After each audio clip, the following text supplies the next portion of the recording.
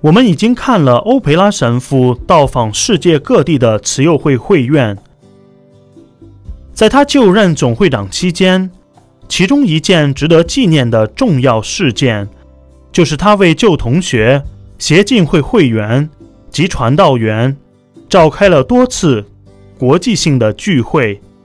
许多人愿意分享慈幼会的活动和神恩。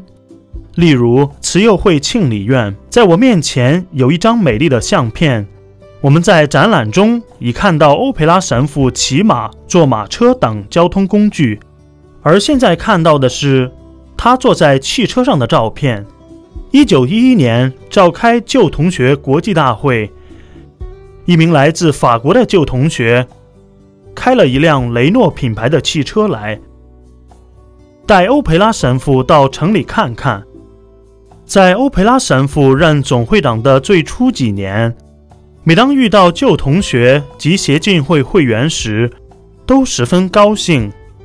慈幼家庭慢慢变成慈幼神恩的重要的一部分。我们在这里也要感谢欧培拉神父，在世界各地营造慈幼家庭的神恩。